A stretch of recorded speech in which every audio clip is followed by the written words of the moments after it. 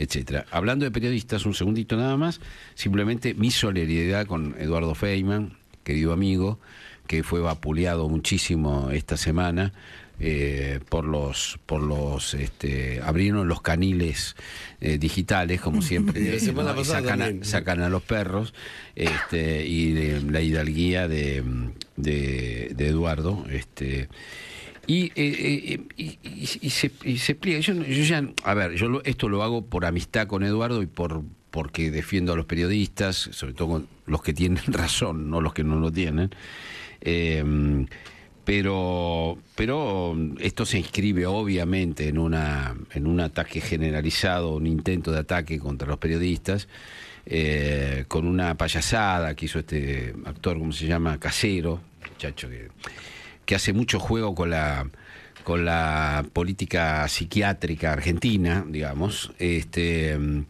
eh, y, pero, a mí me llama la, pero la verdad que a ver, me aburre un poco, me aburre el tema me aburre eh, el tema de los del asunto del vapuleado de los periodistas. Tengo la verdad, también tengo una contradicción acá. Por un lado, quiero solidarizarme, por otro lado, me aburre. Digo, nadie me bola estos tipos, ¿viste?